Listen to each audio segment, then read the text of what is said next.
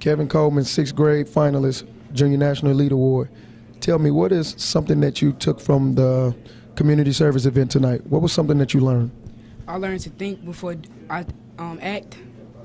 What about you, Cardra Williford? I learned how to stay out of jail.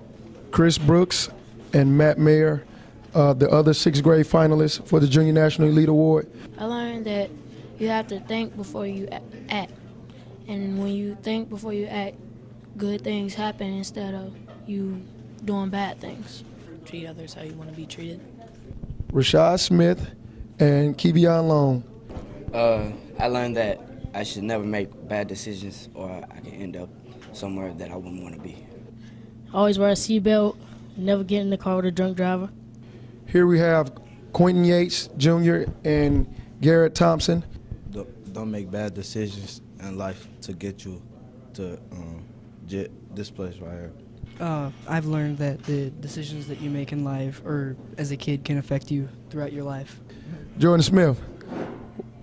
What are what are some of the things that you learned today in in the community service event?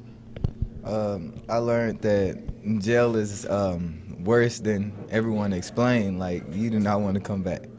I would and um, do your best to. Well, I should do my best to make sure I don't come back because I didn't like it at all.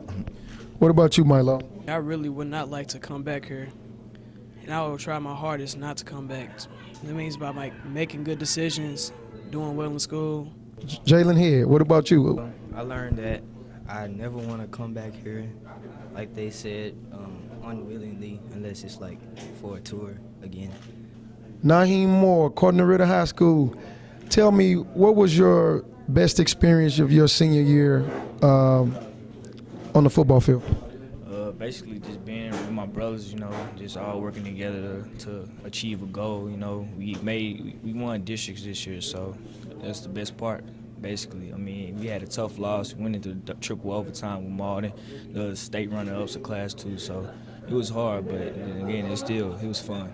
Being a 18 year old, you were one of the oldest finalists uh, as it relates to the sixth, seventh, and eighth graders. So, what is it that you feel? Do you feel anything uh, in regards to giving back in being a, a, role model for the younger finalists to come up uh, under you?